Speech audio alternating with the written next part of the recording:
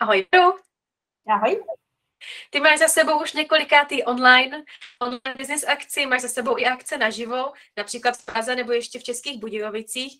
Jaký podle tebe je největší přínos a největší výhoda uh, akcí online?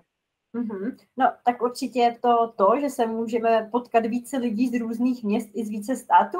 Já jsem na posledním online vysílala nebo potkávala se s podnikateli z Malediv, což před, normálně nešlo, že jo, musela bych se vracet. Takže stoprocentně je to to, že můžeme být každý tam, kde potřebujeme a jedno, jestli jsme zrovna na dovolený nebo pracovně někde, anebo jsme fakt v té svojí kanceláři nebo případně doma, kdo pracuje z domova a potkat se můžeme kdykoliv. Je to úplně jedno. Super, děkuji za informaci.